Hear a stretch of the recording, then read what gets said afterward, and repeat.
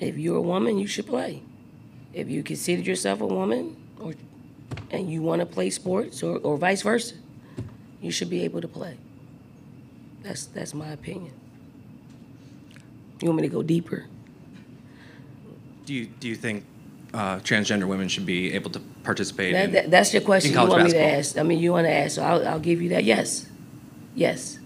So now the barnstorm of people are going to flood my timeline and be a distraction to me on one of the biggest uh, days of, of, of our game.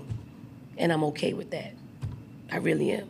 Trans women are competing against women, taking valuable opportunities for the uh, long protected class under Title IX. Caitlyn Jenner, the world's most famous transgender former athlete, has been for years extremely outspoken on the issue of trans women competing in women's sports. Important to note that Caitlyn Jenner was an Olympic athlete years before she transitioned. I'm passionate about it. It's amazing how much flack I get, and all I'm trying to do is protect women, you know? Now she's come out in support of a New York County ban on trans women and girls from being able to use 100 public sports facilities that are run by Nassau County. The executive order was signed on February 22nd, and Jenner appeared at a press conference with Nassau County Executive Bruce Blakeman, who signed the order on March 18th. The difference between men and women exists based on DNA or your chromosomes, which leads to our physical development, regardless of a trans person's hormones, surgeries, status in transition. There are massive advantages and undeniable differences from male development. All right, guys. So we got to talk about some major news that surely will have the woke revolutionaries upset. But, but, but, uh, this is something that it seems like it has to happen because you have some people who don't have the cojones to stand up for biological women in sports. I'm talking about Dawn Staley, who this weekend and famously came out and supported uh, biological males being able to compete against biological uh, women in sports. Okay, she said that, hey, yeah, I would support a biological man playing against my women's basketball team, or probably what she actually really supports is uh, being able to rec- recruit a biological male to play for the women's team, her women's team, and then she can continue to dominate and win championships, right? I think that's what she actually really wants, okay? Because I guarantee you,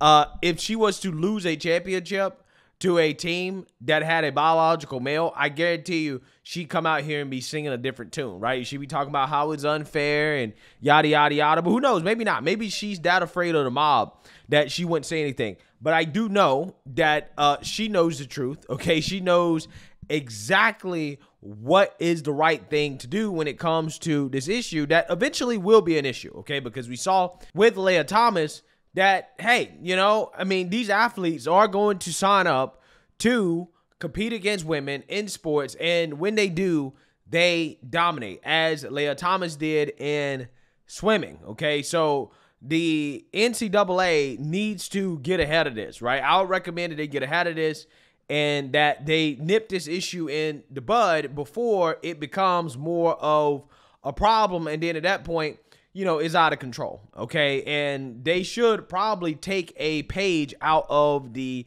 NAIA's playbook, a association of small colleges that basically just approved a ban on trans athletes from women's sports. Okay. So they have basically decided that, hey, you know what? We're going to get ahead of the curb on this and we're just going to go ahead and issue a ban, right? So this is big, big, big news. Okay. And um, you, you're starting to see uh, this happened basically everywhere because people all agree that yes, biological males have an advantage over uh, women. Now, the left is going to come out here and say, oh, they're banning trans women from sports. That's not true. If you are trans, you can play. Okay. Nobody has banned trans athletes from playing uh, any sport that matches their uh, sex at birth, right? I mean, that's just what it is. Okay. That has not happened. That will never happen. And I don't care how much the left fearmongers about this um, you know, hey, that's not going to stop some of these organizations and these states with common sense from doing the right thing. So, without further ado, let's read here. The National Association of Intercollegiate uh, Athletics announced Monday it will ban transgender women from participating in women's sports. The National Small College Organizations Council of Presidents approved in a 20 to 0 vote a policy that only students who were assigned the female gender at birth could compete in women's sports. You mean that were born female, right? I mean, that's that's what it is, right? You're not assigned anything, right? You're just born a female or male, or who knows if, if you have some type of genetic anomaly, then you know that's a whole different issue. But that is so few and far between. That is so rare that it's not really even relevant. Uh, the new policy also blocks transgender women or non-binary students who are receiving masculinizing hormone therapy. So I guess what that means is that um, you know, if you are a non-binary or a transgender woman, uh, you can't play sports if you are on performance enhancing drugs because at that point you you would be on performance enhancing drugs, right? And that would be unfair, right? That would be unfair. Uh, quote, we know there are a lot of different opinions out there. NAIA President Jim Carr told CBS Sports Dennis Dodd, for us, we believe our first responsibility was to create fairness and competition in the NAIA. He said the NAIA also believes its new policy aligns with the reasons Title IX was created. Yeah, I mean, it does. I mean, that's absolutely, absolutely. I mean, these people are trying to take a step back uh, with all the progress that we've made for women, but at the same time, they'll tell you how they're pro woman, right? It, it doesn't make sense. Quote, you're allowed to have separate but equal opportunities for women to compete, Carr said. He told CBS Sports that all NAIA athletes who are no longer eligible for women's competition could still participate in men's for- sports, which effectively means that they're not banned, right? They're not banned at all, despite what the left will say. They'll come out here and they'll say, oh, trans athletes have been banned. Nope, not true at all.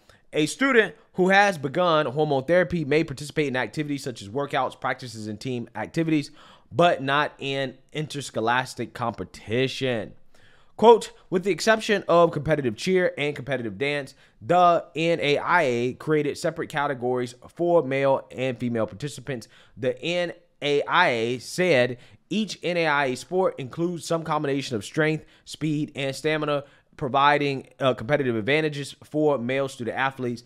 As a result, the NAIA policy for transgender student athletes applies to all sports except for competitive cheer and competitive dance, which are open to all students. I mean, everybody knows uh, the males that like to join the cheerleading squad, right? I mean, that was something that was uh, a thing when I went to school, so I, I guess they're leaving that untouched. The organization is believed to be the first to mandate that athletes compete according to their assigned sex at birth. There is no known number of transgender athletes at the high school and college levels, though it is believed to be small. Doesn't matter. Doesn't matter because it's only going to get larger with the woke agenda being pushed on kids. It's only going to get larger. Okay, so that means that today it might not be a huge issue, but tomorrow it will be, right? And any young girl or young athlete that is not provided an opportunity or has an opportunity taken away from them because of having to compete against someone of the opposite sex, um, that is devastating in and of itself. It should never happen. Okay, so it doesn't matter how small of an issue it is.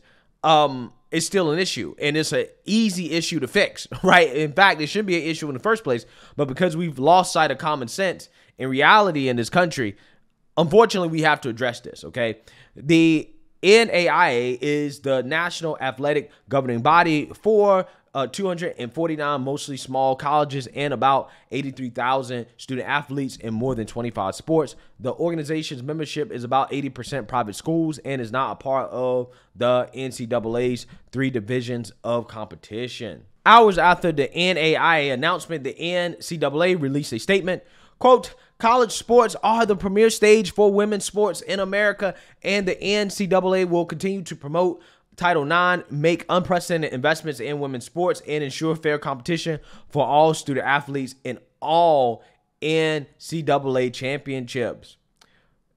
Shiwali Patel, senior counsel at the National Women's Law Center, said her organization was outraged by the NAIA policy.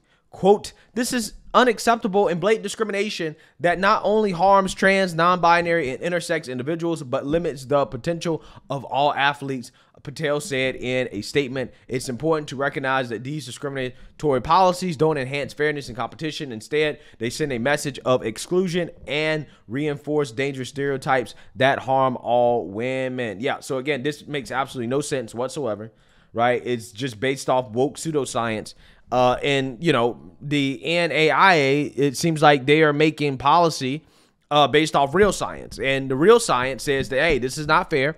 This is something that we should not allow for the good of women's sports.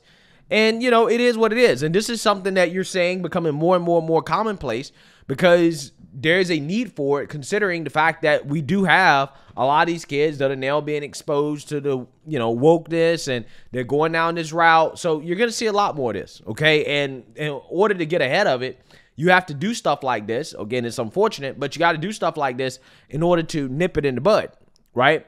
So with that being said, again, congratulations to the NAIA, um, you know, for getting ahead of this. Uh, maybe the NCAA will come around as well too, and they'll nip this in the bud before we get another situation where we have to see a biological male dominate a woman's competition, which is something that we really should never see, right? We really should never see that. And put it this way, I mean, in the sense that it's forced, right? If you know they they want to have um you know, open competition for all genders.